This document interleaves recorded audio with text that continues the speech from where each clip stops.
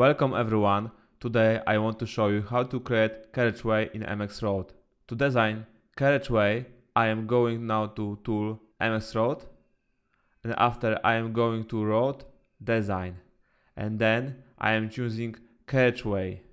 Now from window road design I am choosing from string name MC00 and I am clicking next. In next window I am choosing cross section detail what I want to use in designing road.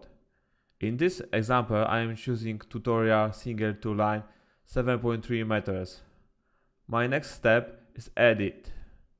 I want to show you how MX Road can change carriage. In here I can change right or left side width or percent slope. In here is function where I can make offset from line MC00. I don't want to do this, so I am leaving 0. Okay, now I am clicking next to confirm my setup. Now I am saving as my setup. I will write my name, tutorial JDB and next.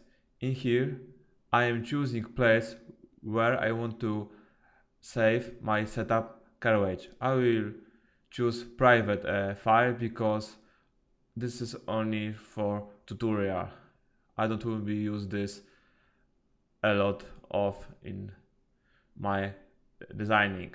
So after next and you can see now on desktop MX Road is ready and done carriage in MX Road.